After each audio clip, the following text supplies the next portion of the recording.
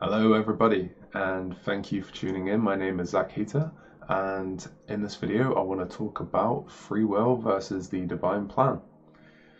So it's been an interesting journey for me these past five, six years since I first really started waking up and learning more about these kind of spiritual concepts and things like that.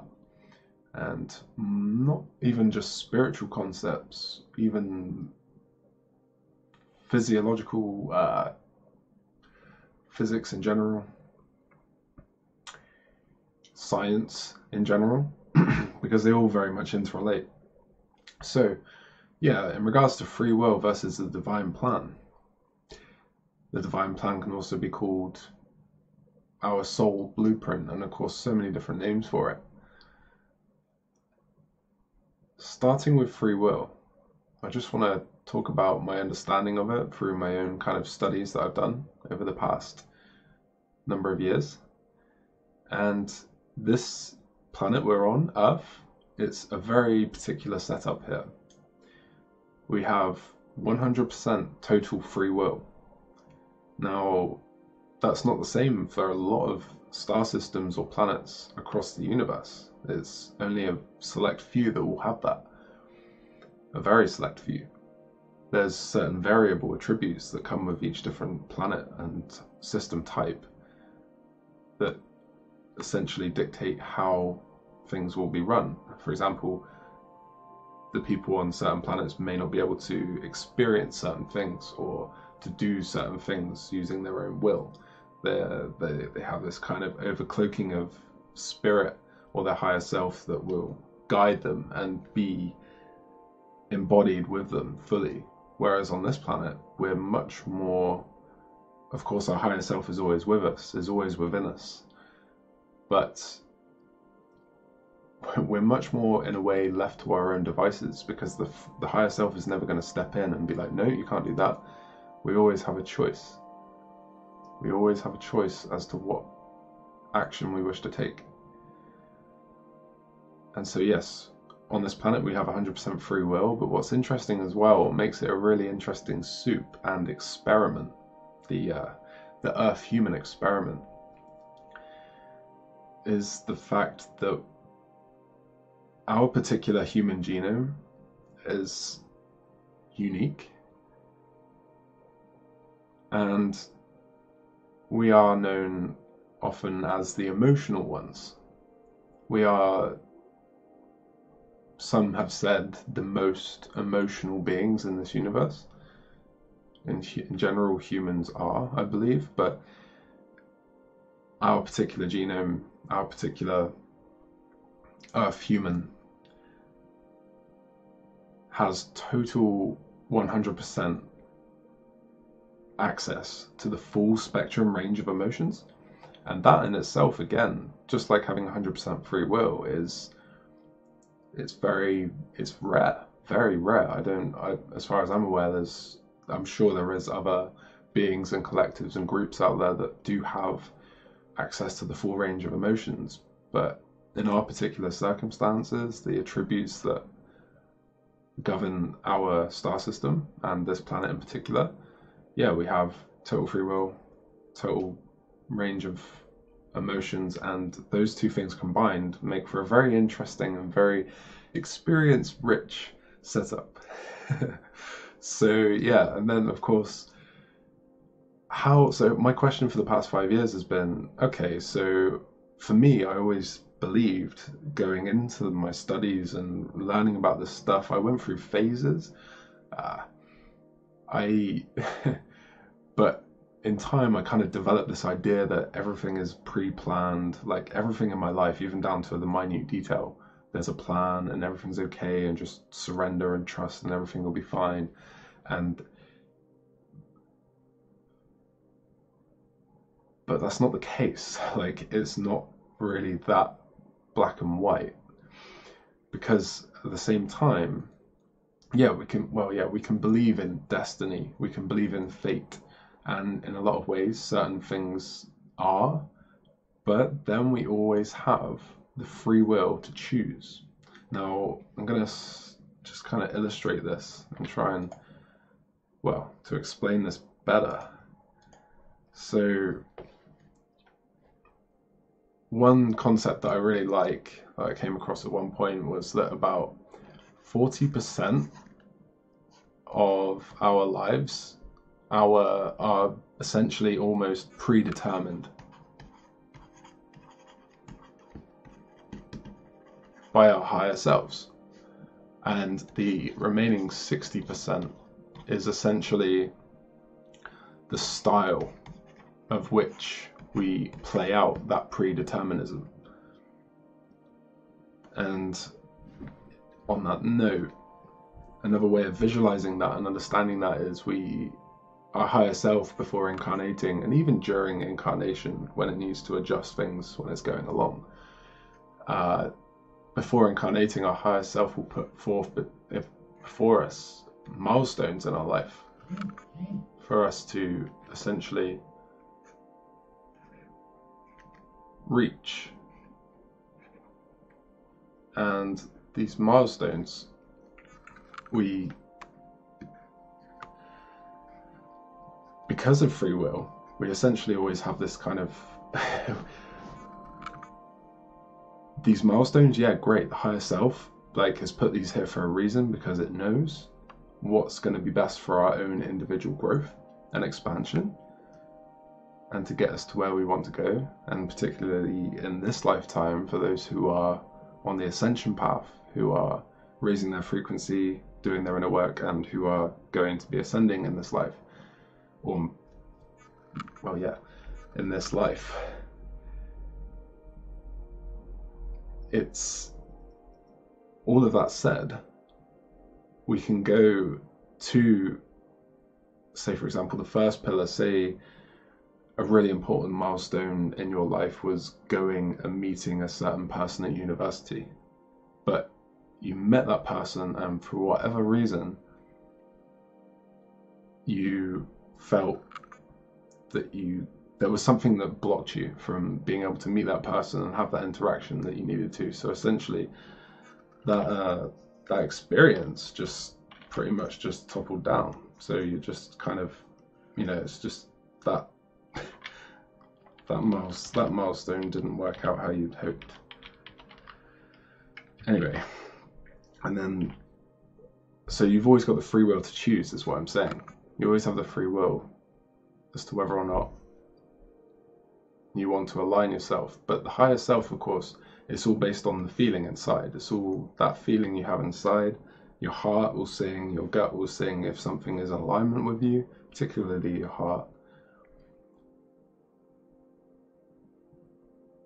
And then of course you have those overwhelming bad kind of more negative emotions shall i say not bad but more negative as we would call them for the sake of convenience. Those negative emotions can also guide us. And say for example there's a trap here there's a pitfall and you have that you can use your free will to either go into the pitfall or you can be like or you can use your internal guidance system which is your your higher self and listen to it and it can warn you in advance if you're tapped into it if you're tuned into it and you can then go around it and get to your milestone. So there's yeah this is really what i wanted to share was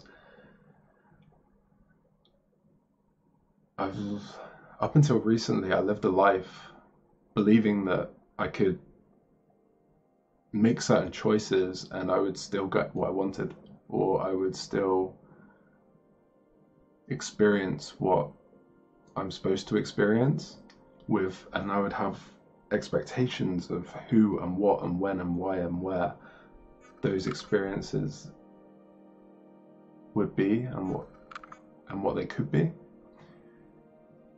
And the reason why I'm sharing this video now is because some of those choices I've made that weren't coming from a place of alignment to my heart, they were coming from a place of pain, have literally pretty much destroyed a pretty big milestone in my life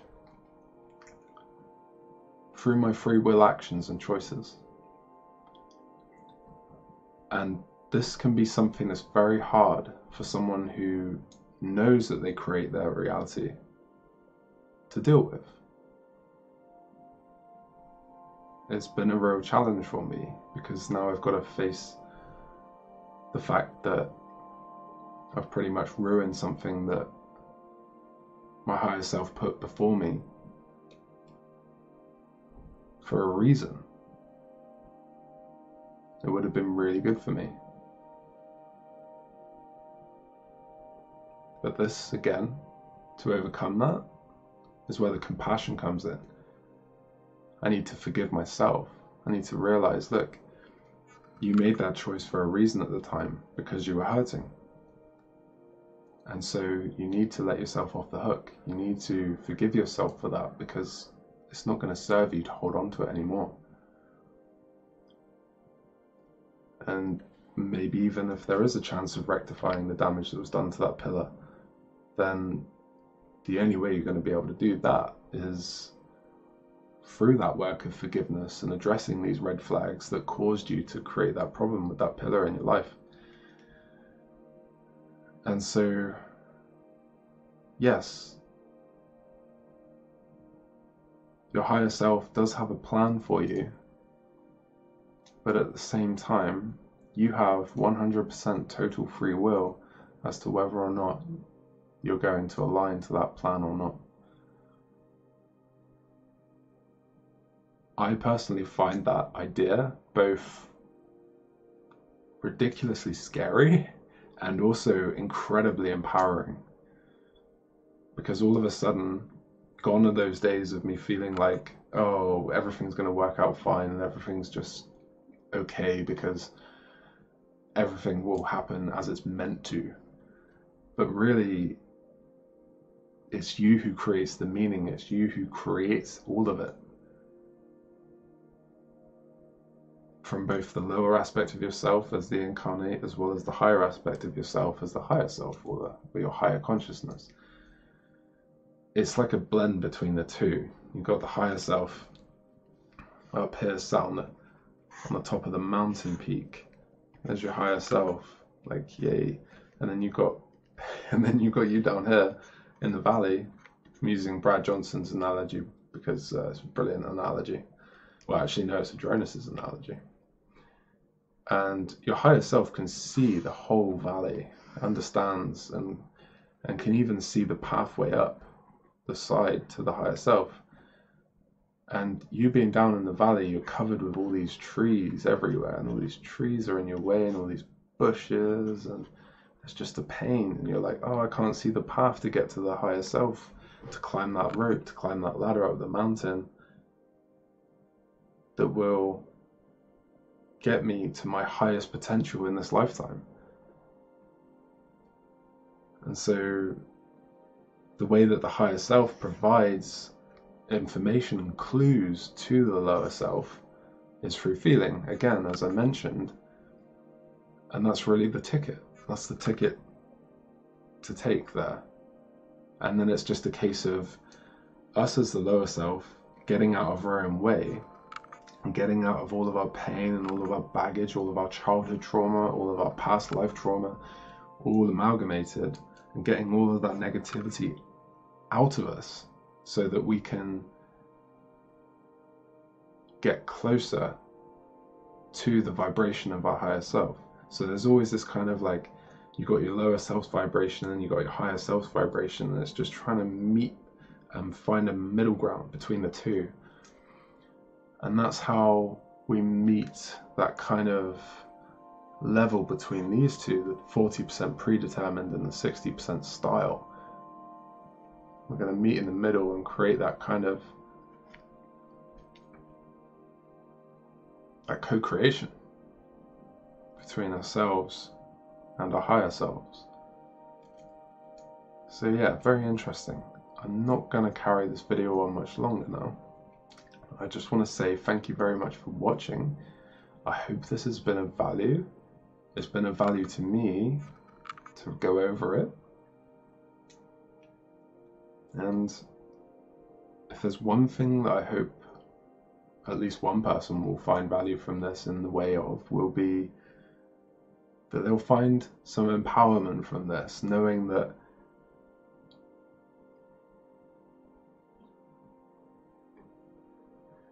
fate and destiny are what you make of it. Be careful in how you act at those important moments in your life. And you may not see them as important in the moment, but just be careful with your free will because you're very powerful and you can create situations that will fill you with joy. And you also have the power to destroy situations that could fill you with joy. To your power. Thank you for watching. Lots of love. Goodbye. Zach, over and out.